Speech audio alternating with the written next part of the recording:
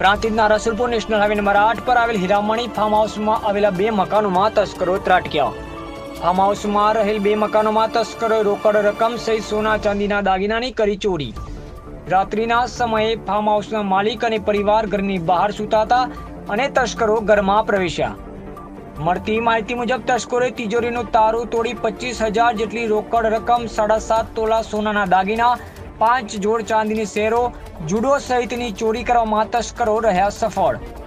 તસ્કરોએ રસુલપુર ગામમાં આવેલા એક બંધ મકાનનો પાછળનો દરવાજો તોડી મકાનમાં પ્રવેશ કરી તિજોરીના તારા તોડી સરસામાન કર્યો વેરવિખેર તો ફાર્મ હાઉસ માલિક દ્વારા પ્રાંતિજ પોલીસને કરાઈ જાણ.